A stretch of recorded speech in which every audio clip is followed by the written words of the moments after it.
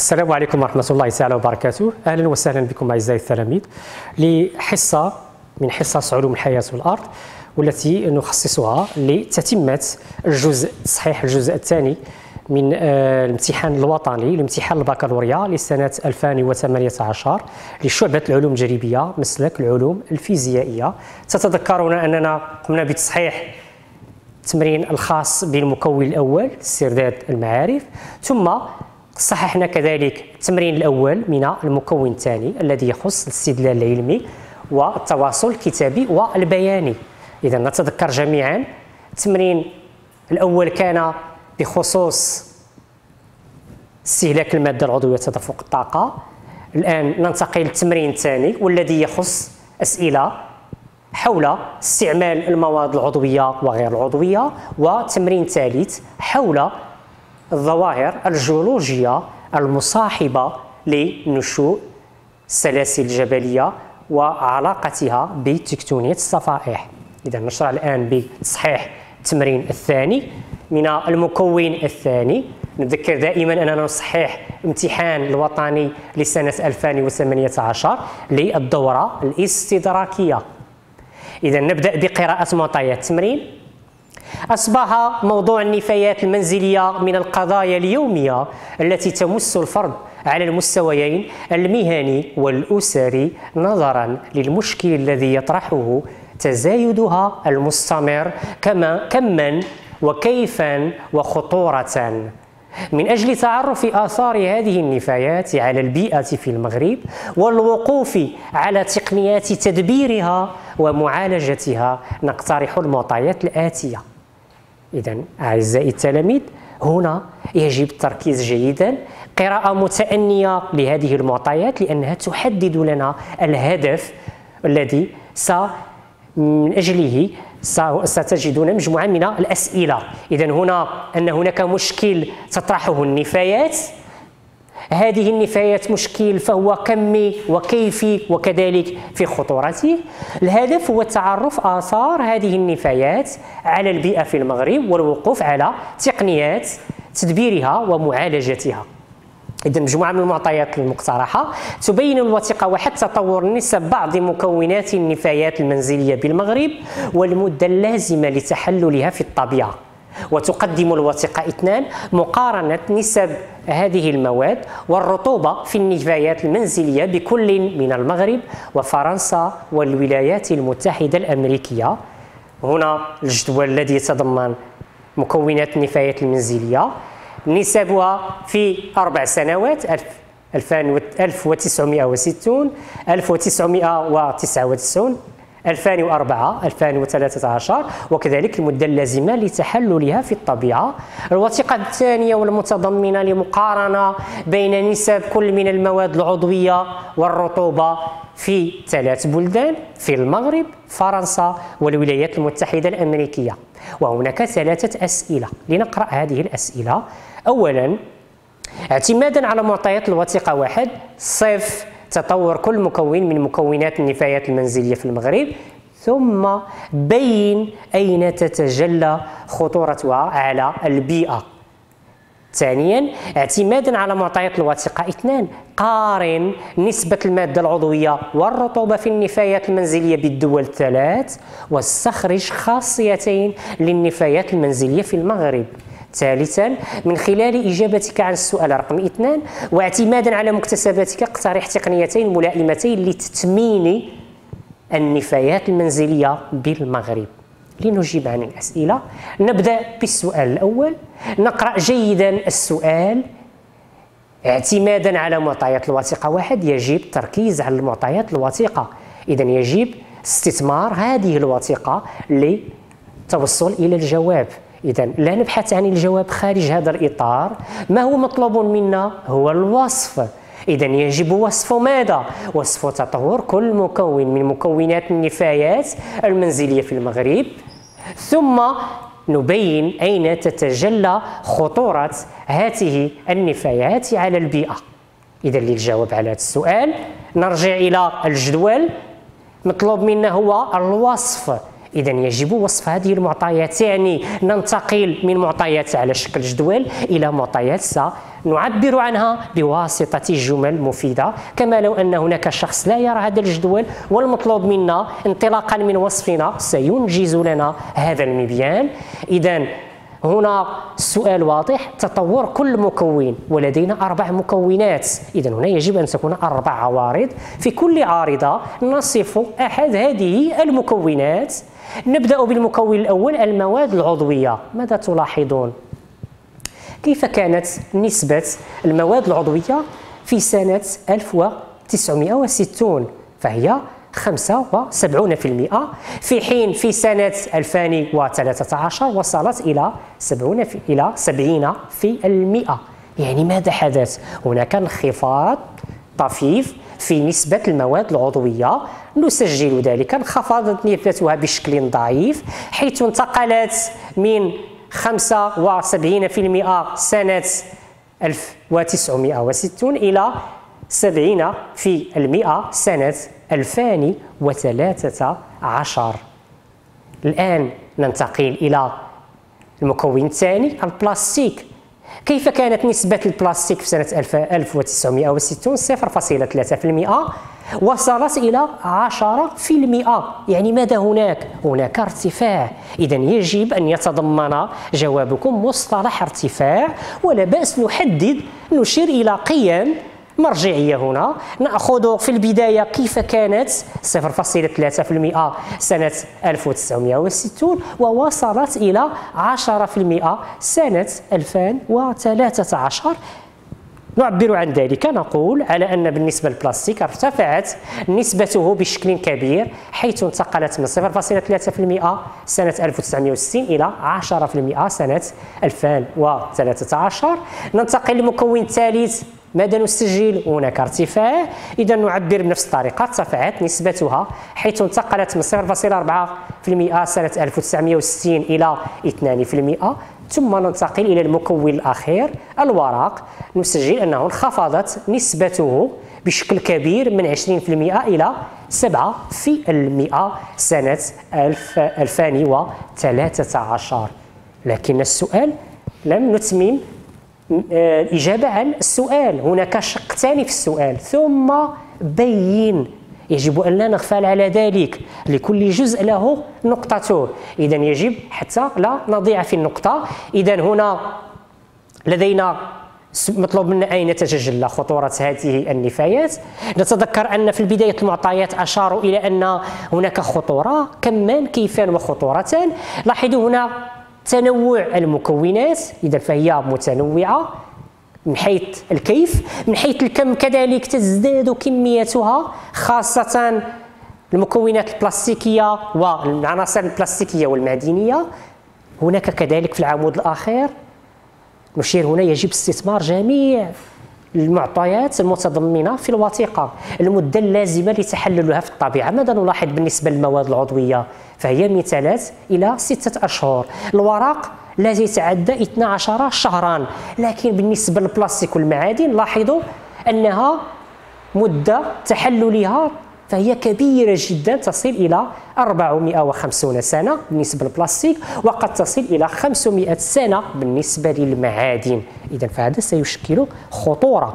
إذا تنوع المكونات الكميات خاصة البلاستيك والمعادن وكذلك مدة تحللها الطويلة من بين العناصر التي تشكل خطورة. إذا تتجلى خطورة النفايات المنزلية في المغرب على البيئة في تنوع مكوناتها غناها بالبلاستيك والمعادن التي تتطلب مدة زمنية طويلة لانحلالها. ننتقل للسؤال الثاني. نقرأ السؤال اعتمادا على معطيات الوثيقة. إثنان قارن نسبة المادة العضوية والرطوبة في النفايات المنزلية بالدول الثلاث واستخرج خاصيتين للنفايات المنزلية في المغرب. نرجع للوثيقة اثنان. إذا هنا الوثيقة اثنان ماذا تمثل؟ مقارنة بين المواد العضوية والرطوبة نسبتها نسبة المواد العضوية والرطوبة في ثلاث بلدان في المغرب فرنسا والولايات المتحدة الأمريكية. ماذا نلاحظ؟ كيف هي نسبة المواد العضوية في المغرب مقارنة مع فرنسا ومقارنة مع الولايات المتحدة الأمريكية؟ نقوم بإسقاط على محور الأراتب بالنسبة للمغرب نجد أن النسبة فهي تقارب 80 80% في حين في فرنسا فنسبة المواد العضوية تقريبا فهي 30% في حين في أمريكا تقريبا 18% اذا هنا النسبة في المغرب فهي أعلى من نسبها في فرنسا والولايات المتحدة الأمريكية. كذلك بالنسبة للرطوبة قارنوا.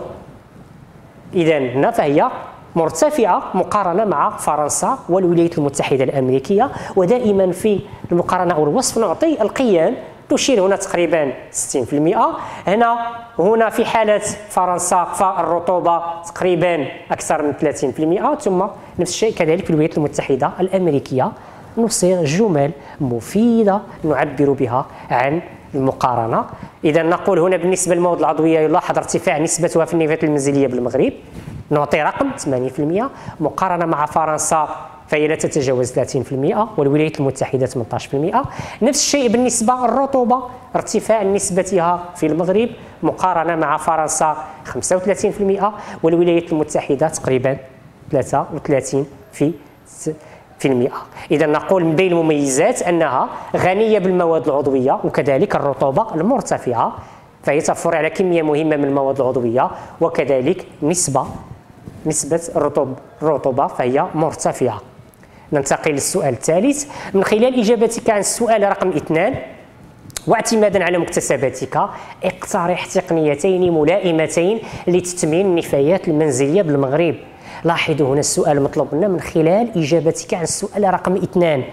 ماذا توصلنا في السؤال رقم اثنان على أن هذه النفايات فهي مقارنة مع فرنسا وأمريكا غنية بالمواد العضوية إضافة إلى الرطوبة.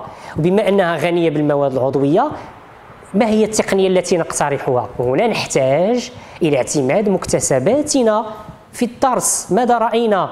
إذا هنا نرجع إلى الدرس وخاصة في الفصل الأول الخاص بالنفايات. المواد العضوية الناتجة عن الاستعمالات المنزلية ورأينا مختلف التقنيات. نتذكر من بين التقنيات هناك إنتاج آه، البيوغاز هناك السماد إنتاج السماد العضوي هناك تقنيات الترميد. من بينها التقنيات التقنيات التي تعتمد على توظف فيها تثمين مواد عضوية. اذا هنا نتذكر اذا غنية بالمواد العضوية والرطوبة. نقترح مثلا إنتاج البيوغاز البيولوجي لأنها تحتوي على مواد عضوية وكذلك إنتاج السماد العضوي كتقنيتين من أجل ماذا؟ من أجل تثمين هذه النفايات بدل رميها في الطبيعة. إذا فنستفيد منها عن طريق هاتين التقنيتين. ننتقل لي دائما نستمر في التمرين. تشكل الليكزيفيا وتعلمون أنها هي عبارة عن عصير النفايات. الناتجة عن النفايات المنزلية بالمغرب عائقا كبيرا أمام تدبير المطارح العمومية. من بينها المطرح العمومي المراقب لمدينة أكادير. وقد طور الباحثون تقنية بسيطة وغير مكلفة لمعالجة الليكزيفيا عبر إخضاعها لتهوية مكثفة كما توضح الوثيقة 3 وتبين الوثيقة 4 تأثير التهوية المكثفة للليكزيفيا الناجمة عن النفايات المنزلية للمطرح المراقب بمدينة أكادير على قيمة كل من DBO 5 تتذكرون هذا المعيار؟ الطلب البيولوجي على الأكسجين خلال خمسة أيام وكذلك معيار DCO وهو الطلب الكيميائي على الأكسجين. هذا فيما يخص الوثيقة 4 كما تلاحظون فهو عبارة عن مبيانين مبيانين حول تغير نسبة ال DCO عفوا في كل من ال lixiviat الخاضعة للتهوية وال lixiviat الشاهدة وكذلك تغير DBO 5 في كل من ال lixiviat الخاضعة للتهوية وال lixiviat الشاهدة. مطلوب منا السؤال رابعا.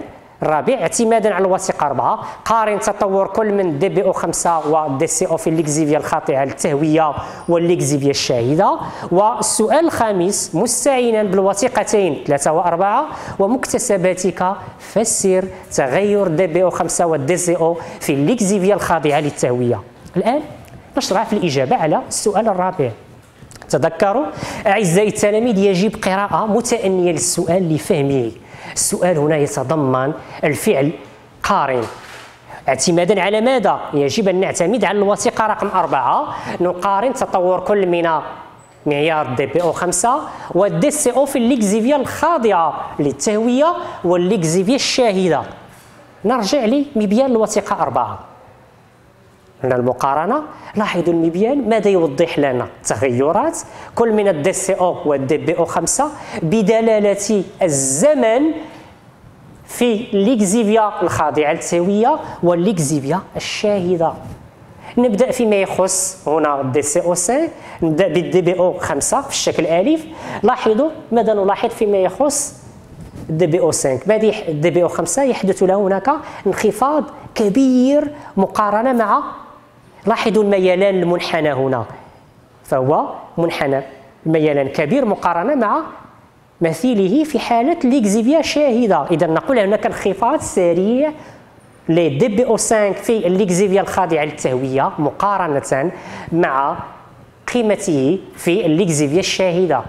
كذلك فيما يخص DCO نلاحظ أن هناك انخفاض كبير ثم تدريجي في حين lixiviat الشاهده DCO 5 ينخفض قليلا ثم يبقى مستقرا. اذا نشي نعبر عن ذلك. بالنسبة ل DBO 5 DBO 5 نلاحظ انخفاض سريع لتركيز DBO 5 في ال lixiviat الخاضعة للتهوية بالمقارنة مع تركيزه في ال lixiviat lixiviat الشاهدة.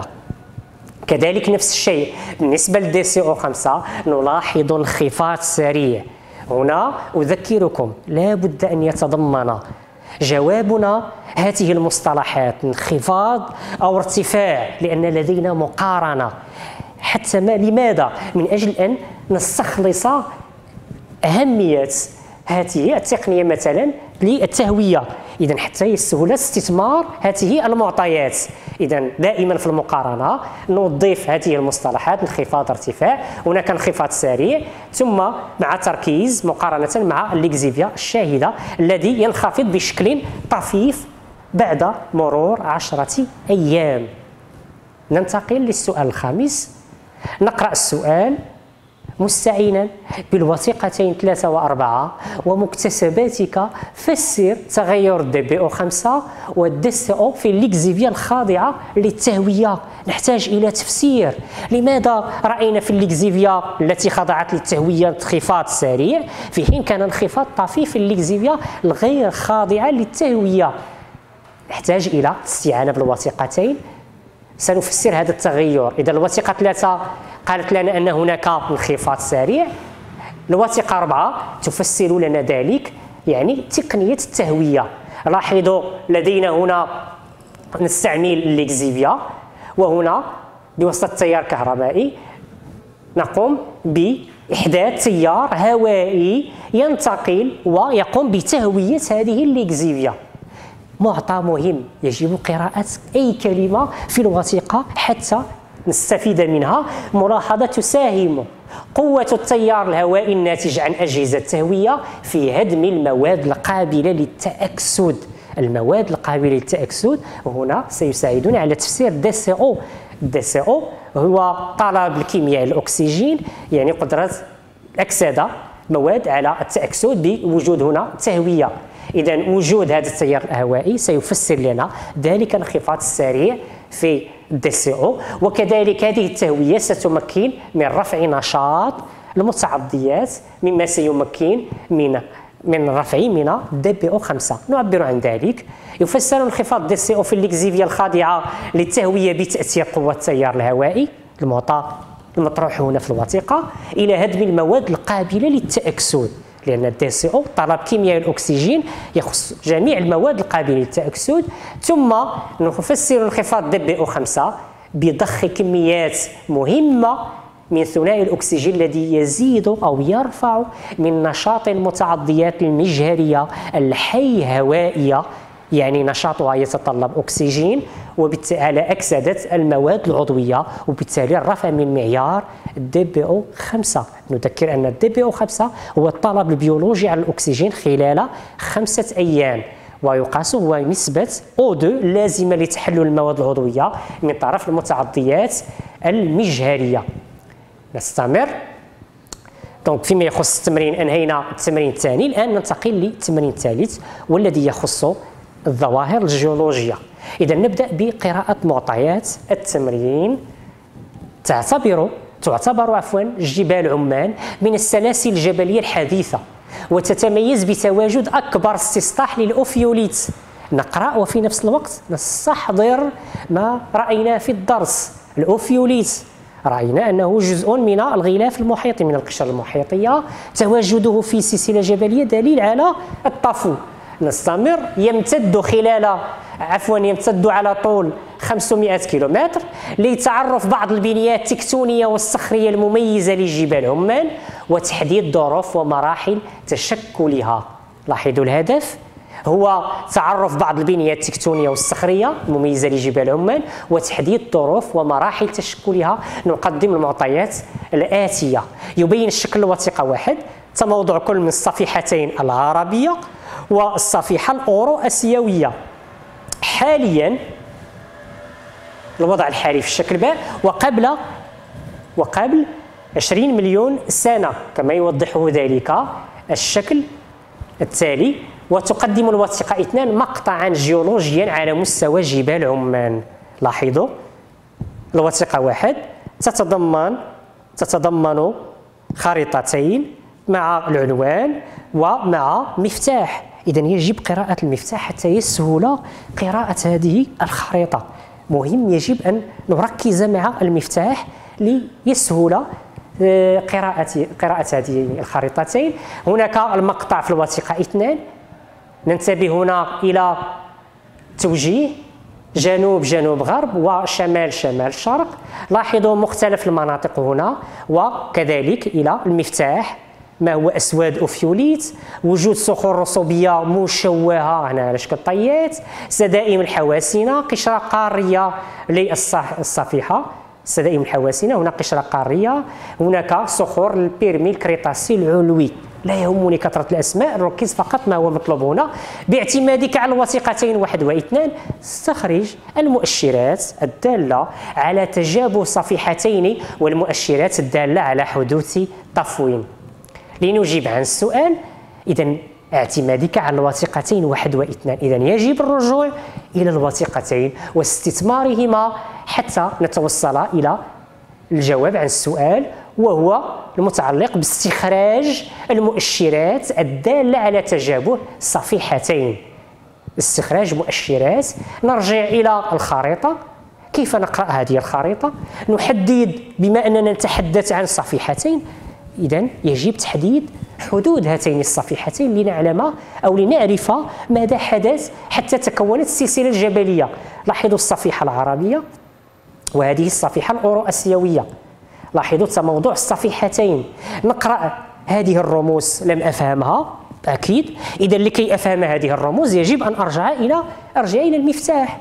ماذا ألاحظ في المفتاح؟ هذا اللون يدل على رواسب محيطية. إذا لاحظوا بين الصفيحتين هناك رواسب محيطية. كذلك لدينا تضاريس عالية ناتجة عن التقارب. تضاريس عالية ناتجة عن التقارب. ولدينا مجال محيطي. لاحظوا المجال المحيطي. لاحظوا هنا قبل 20 مليون سنة المجال المحيطي فهو يوجد مساحات كبيرة من هذا المجال تفصل الصفيحة العربية عن الأورو أسيوية. ألاحظ أنه لا يوجد ذلك المجال فهو محدود هنا. اتجاه حركية الصفائح يساعدني على القراءة. فالق تراكبات. لاحظوا أن لدينا مجموعة من التراكبات التي تدل على علاقة بين الصفائح هناك تقارب بين الصفائح. اذا المطلوب هنا هو حدد المؤشرات الداله على تجاوز الصفيحتين. أكيد نلاحظ أن هناك تقارب الصفيحة العربية والاورو اسيويه هناك نقصان في ماذا؟ في المجال المحيطي. المجال المحيطي قبل 20 مليون سنة. لكن حاليا تقلص فهو محدود في هذه المنطقة. إذا نشير إلى ذلك. كذلك في الوثيقة الثانية نلاحظ وجود تشوهات على شكل طيات. إذا تشوهت على شكل طيات بوجود فوارق وجود تراكبات ونعبر عن ذلك. نقول المؤشرات الدالة على تجاوز الصفيحتين تقلص المجال المحيطي. تقارب الصفيحتين العربية والأورو أسيوية وكذلك وجود تراكبات وطيات وفوالق لكن نحتاج كذلك لإتمام الجواب ومؤشرات دالة على حدوث الطفو نذكر فيما يخص هناك وجود الأوفيوليت. تطرقنا إليه سابقا ووجود كذلك الرواسب. إذا نقول على أن المؤشرات الدالة على حدوث الطفو وجود رواسب محيطية في المجال القاري وزحب المركب عفوا زحف المركب الأوفيوليتي فوق المجال القاري. تواجد دائما الأوفيوليت فهو دليل على اختفاء قشرة محيطية وكذلك على حدوث ظاهرة الطفو حيث نجده على مستوى السلسلة الجبلية. نتمم دائما في هذا التمرين مكنت دراسة ثلاث عينات صخرية آغ واحد آغ اثنان وآغ ثلاثة متواجدة بسي حطات منطقة من الحصول على النتائج المبينة في الوثيقة ثلاثة. هذه الوثيقة هي عبارة عن جدول يلخص لنا ظروف تشكل هذه العينات الصخرية ويوضح مبيان الضغط درجة الحرارة الممثلة في الوثيقة أربعة مجالات استقرار بعض المجموعات العيدانية وسحنات التحول. ما هو مطلوب؟ ثانيا باعتمادك على الوثيقتين ثلاثة وأربعة. إذا سنستغل الوثيقة ثلاثة جدول القياسات فيما يخص العينات الصخرية الثلاث وكذلك فيما يخص مبيان الضغط درجة الحرارة لنجيب على الأسئلة الثلاث ألف باء وجيم. ألف حدد السحنات التحولية التي تنتمي إليها الصخور اغ واحد اغ اثنان اغ ثلاثة. عندما نتحدث عن السحنات يعني تتكلم عن مجالات استقرار مجموعات معدنية تتميز بظروف ضغط وحرارة محددتين. باء حدد التغيرات العيدانية التي تطرأ عند انتقال من الصخرة إغ واحد إلى الصخرة إغ اثنان ثم من الصخرة إغ اثنان إلى الصخرة إغ ثلاثة. جيم استنتج نمط التحول الذي خضعت له هذه الصخور والظاهرة الجيولوجية المسؤولة عنه. علل جوابك. نبدأ بالسؤال الأول. ثانيا ألف مطلوب منا هو تحديد السحنات التي تنتمي إليها الصخور اغ واحد اغ اثنان اغ ثلاثة. انطلاقا من ماذا؟ انطلاقا من الوثيقتين ثلاثة وأربعة لاحظوا معي. الوثيقة ثلاثة والوثيقة أربعة. الوثيقة ثلاثة تبين لنا ماذا؟ قياسات الضغط والحرارة.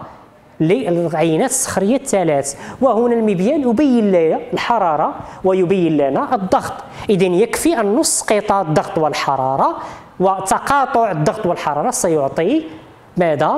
فهما مرجعين أفصول وأرتوب سيعطينا نقطة تقاطع ستكون الصخرة. وهذه الصخرة سنجدها سنحدد مجال تواجدها لتحديد نوع السحنة. نبدأ بآخ واحد لاحظوا.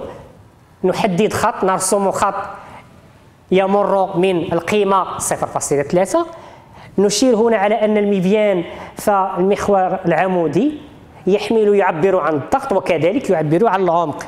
ولاحظوا قياسات الضغط.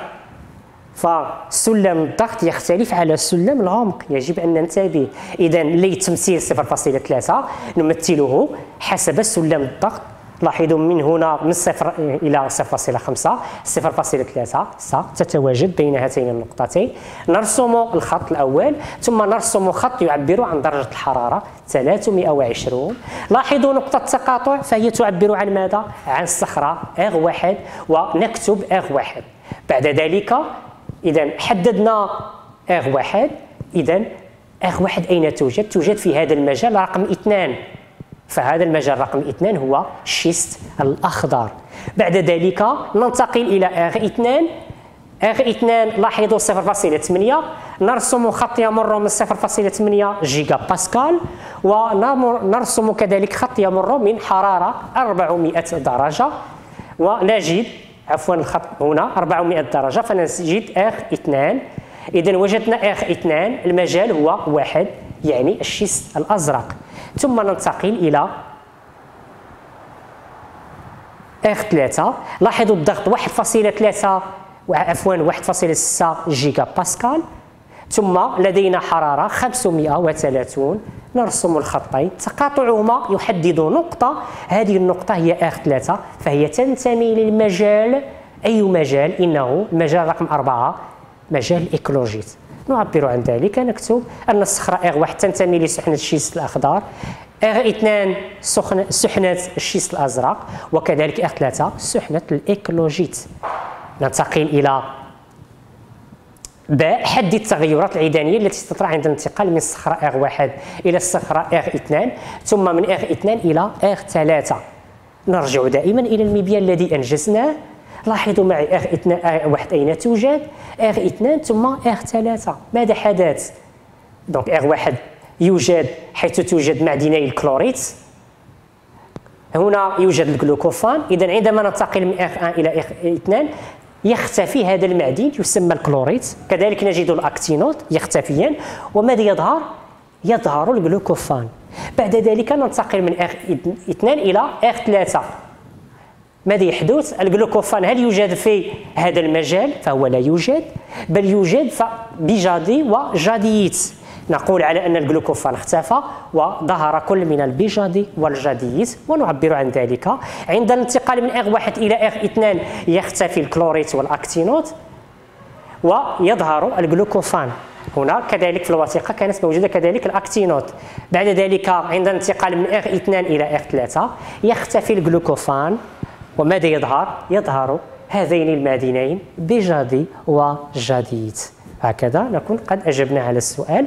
ننتقل للسؤال الموالي والمتعلق باستنتج استنتاج نمط التحول الذي خضعت له هذه الصخور والظاهرة الجيولوجية المسؤولة عنه. ماذا نقصد بنمط التحول؟ رأينا في الدرس إما تحول دينامي تحول دينامي حراري. الظاهرة الجيولوجية المسؤولة عنه.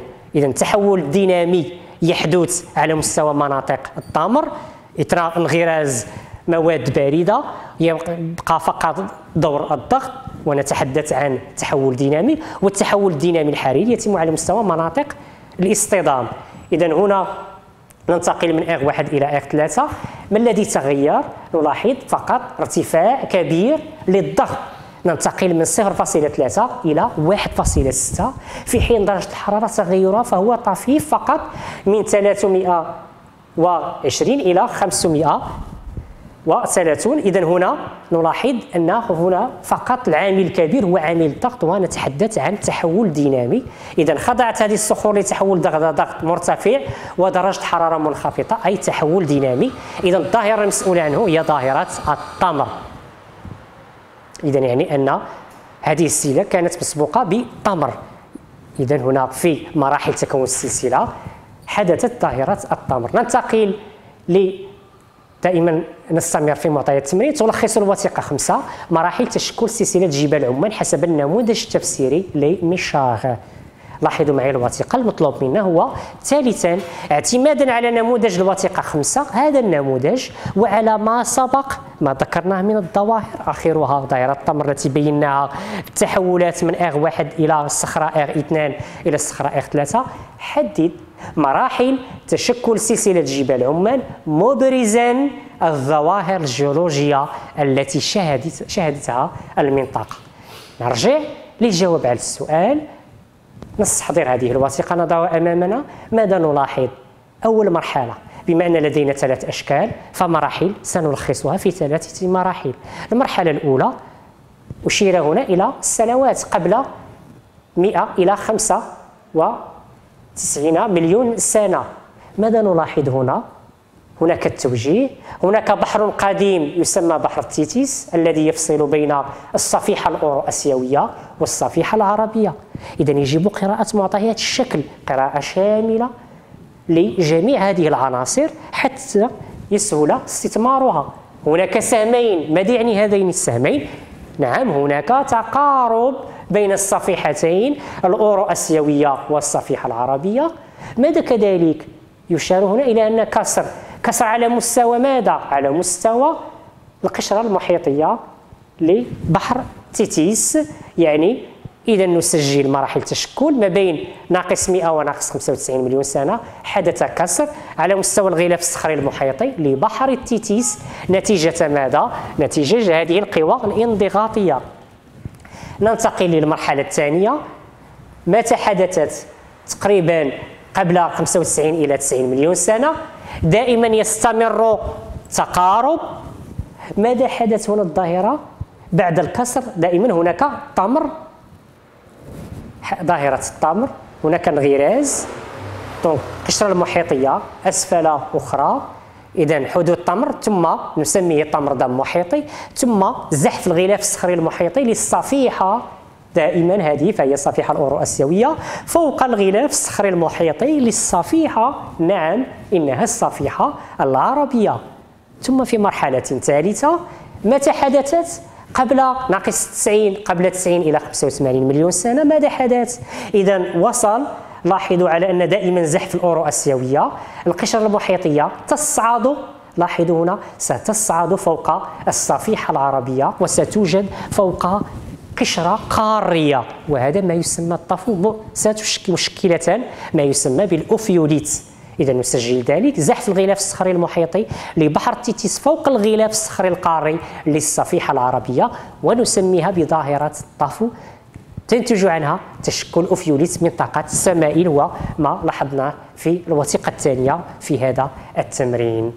أعزائي التلاميذ إلى هنا نأتي إلى نهاية هذا الجزء المخصص لتصحيح الامتحان الوطني لسنة 2018 لشعبة العلوم التجريبية مسلك العلوم الفيزيائية. أدعوكم أعزائي التلاميذ للاشتغال على التمارين السابقة على الامتحانات. دونك حاولوا أن دائما بتطبيق المنهجية خاصة سواء بالنسبة خاصة بالاستدلال العلمي والتواصل الكتابي والبياني. وأتمنى لكم حظا موفقا وإلى اللقاء.